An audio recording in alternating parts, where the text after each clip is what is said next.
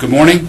My name is Bill Howard. I'm the Vertical Product Line Manager for Makino, and I'd like to thank you for joining us this morning for today's webinar topic. And the topic of today's webinar is extreme accuracies, blends, and tooling matches on long cycle time die mold parts. First off, we're going to go back and look at, well, what do specs say, normal specs, about long-term accuracy, things such as geometry, squareness, straightness, parallelism, positioning, and, and repeatability. And then what happened, why is over time so important? What's the difference between a short cycle time and a long cycle time? Well, obviously, the longer you're cutting, the more the effects of the dynamics, the roll, pitch, and yaw, the thermal effects in the casting, you know, the ball screws, the motors, the guideways, the axes, and the heat up of the spindle, the environment itself, changing temperatures in your work zone.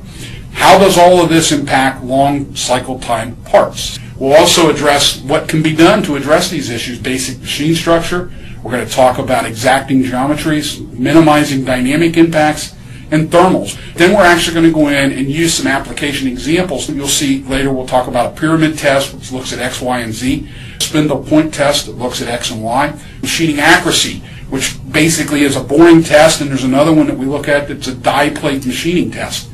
We'll also look at spindle growth, and we do that through a z-axis test, such as surface contouring and parting line.